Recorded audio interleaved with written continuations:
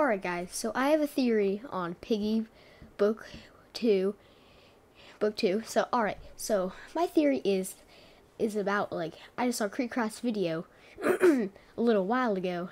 Well, and about a few minutes ago. Anyway, so basically I believe Mr. Stitchy has something to do with the strange audio. Let me play it for you now.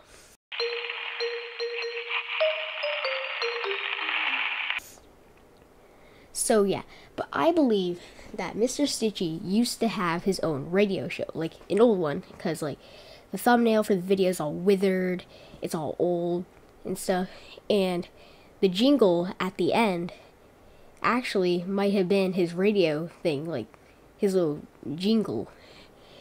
That like say kind of like McDonald's, like ba da ba ba ba or something like that. So anyway, and Mr. Stitchy makes that same exact sound, kind of, except it's a little slower and a little deeper.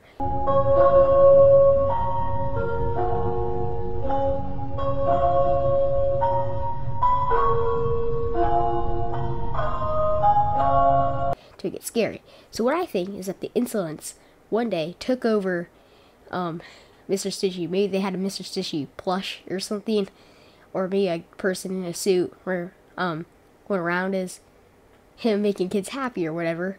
But anyways, I believe they took hold of something of basically a Mr. Stitchy and then he basically became a monster. Kind of like probably like a Pennywise kind of thing. But then so then he came everyone a, a child's nightmare, every child's nightmare. And also what I think is that the insolence Mr. Stitchy also has a thing where he went to the military base and he um, took hold of everyone there.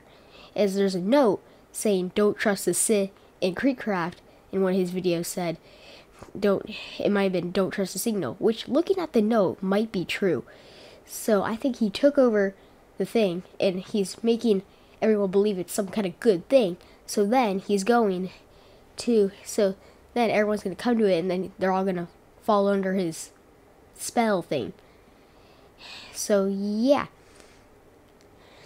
that's basically it. Let me know what you think down below. And bye.